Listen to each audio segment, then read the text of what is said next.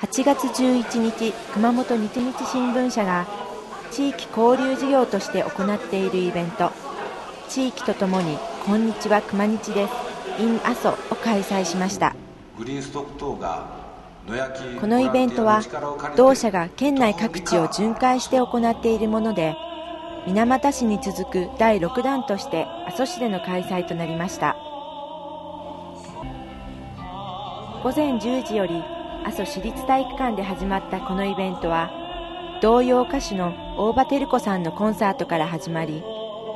美しい歌声に参加した市民も聞き入っていましたロビーでは展示イベントが行われ貴重な写真や広告賞の入選作品などが展示されていました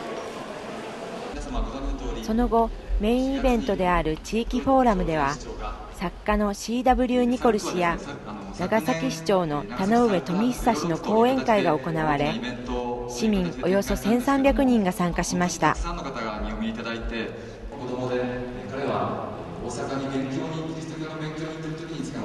また阿蘇に遊びに来なっせ国際環境観光都市を目指してと題し行われたパネルディスカッションでは佐藤義興阿蘇市長もパネリストとして参加。阿蘇では有名人の面々から畜産と農業と観光業が連携を図り環境を守る取り組み通過型から滞在型の観光づくりなどの意見が発表されました。また同じ時間阿蘇市農村公園アピカ陸上競技場ではスポーツイベントとして地元の小学生を対象にロッソ熊本コーチによるサッカー教室が行われました。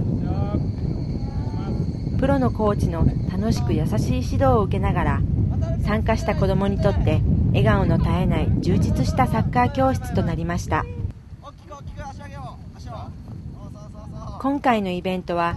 県内各地の魅力を探る熊本日日新聞社の地域交流事業でその中で佐藤義興市長は阿蘇市阿蘇環境共生基金創設を発表阿蘇の自然への関心を高め環境を保全し後世に伝えていくことを目的としています